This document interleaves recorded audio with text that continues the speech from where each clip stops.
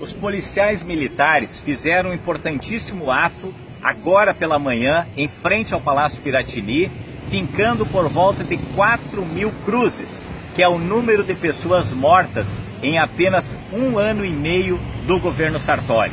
Esse governo faz de tudo para que a violência continue aqui no estado.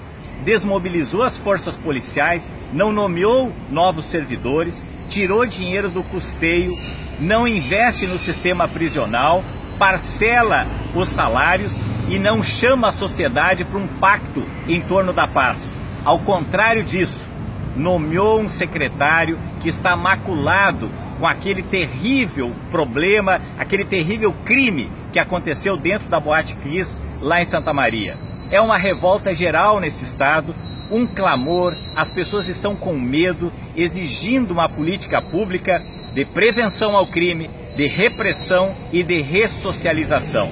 Que o governo Sartori, após esse apelo, esse ato de indignação dos policiais civis, militares, também os agentes da SUSEP, os profissionais do IGP, que tenha alguma atitude que volte a paz nesse estado que nós possamos respirar tranquilos.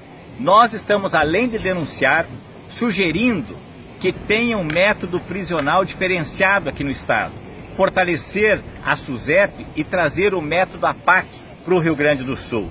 Portanto, governador, ouça o clamor do seu povo, ouça o clamor das famílias das vítimas dessas 4 mil pessoas assassinadas em um ano e meio da sua gestão.